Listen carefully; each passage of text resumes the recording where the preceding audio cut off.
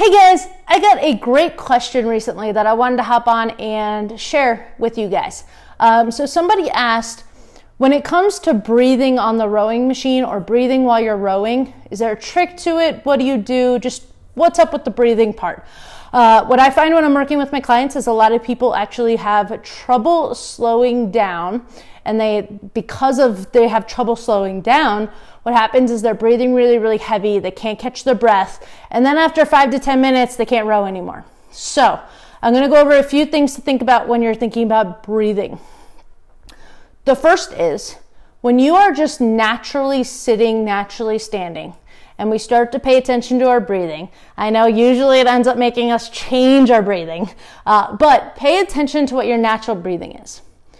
It's nice and slow. So it's usually about 12 to 20 breaths per minute, okay? And that's just a natural breathing. Now, when you work out, that starts to increase. If I start to do a, sl- a slow jog or a speed walk, my, my breathing is going to increase a little bit, but it's not going to be huffing and puffing. Now, if I go sprinting, I'm going to be huffing and puffing. I'm going to be breathing more quickly and breathing more. So, this is a little bit where the SPM comes into play, or the strokes per minute, or that little S slash M that you see on the screen. This is a little bit of where that starts to come in. If my stroke rate is really high and I'm going at like 30 or 36 or something like that, I'm going to be breathing faster. If I am slow at 12, 14, 16, 18, 20, 22, 24, those are slower breathing. So when I'm at about a 20 to 24, I'm breathing a little bit more quickly, but I'm not like a 30 where I'm in sprint pace. So that's how this kind of correlates to when you think about activity you're doing daily is it's really similar to the stroke rating here. So if you just pay attention to your breathing as you're going on the rowing machine and just pay attention to that breathing, as you start to speed up and your stroke rate is increasing, and as you're just going faster and kind of sprinting or just moving faster, your breathing is going to increase. And that's normal, okay? So there's really no right or wrong answer for the breathing. However, big components for the breathing. If we go besides the how quick how slow etc component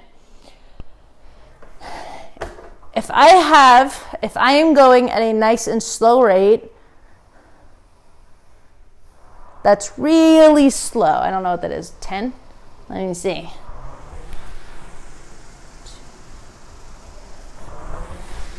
Okay so that's a 14 so if I'm going at a really slow rate, I can take lots of breaths throughout this stroke.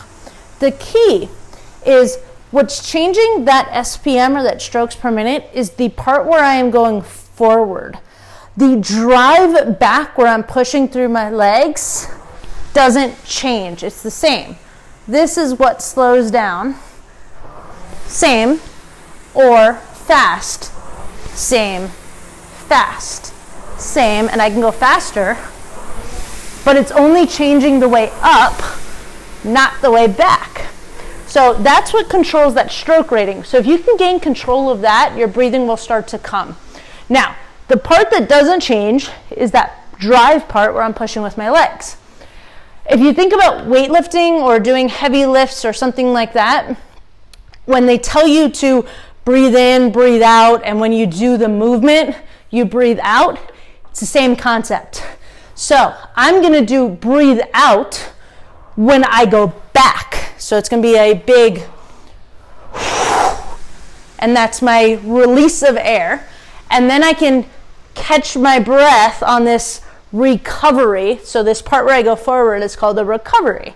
So you're catching your breath there, which means you're breathing in that component. So if I'm going really slow, so I'm just going to do a few. If I'm going slow,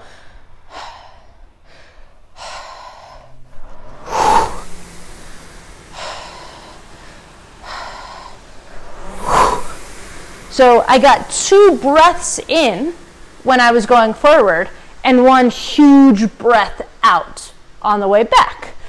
Now, if I'm going faster, it might look more of a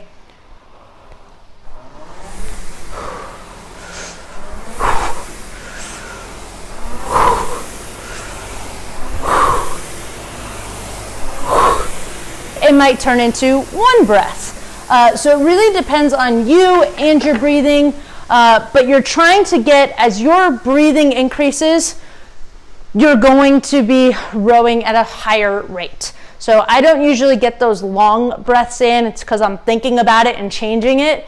Usually it's a, okay, let me get three breaths in, go. Let me get two quick breaths in, go. Uh, but I think the big key components are on the way back, that's your, your expelling of air, you're breathing out, letting it go in, go out, and then I catch my breath at the end when my arms are going away and I'm going forward. So if you work on getting that recovery going forward slower, you'll be able to get more breaths in, but it's also going to change your SPM and it's going to make it so you can last a little longer if you learn how to control that. But for the breathing, don't think about it too much. The more you think about it, the more we change it. Um, so it's really kind of what nat- happens naturally for you. But that on the way back, that's your expel, exp, expelling, uh, expelling of air, um, and that then you get your breath on the way forward. I hope that helps. Thank you for asking the question. If you have any other questions, please feel free to ask. Um, I hope that that helps a little bit. My name is Amanda. I'm the rowing doc, um, and I hope you guys have a great day.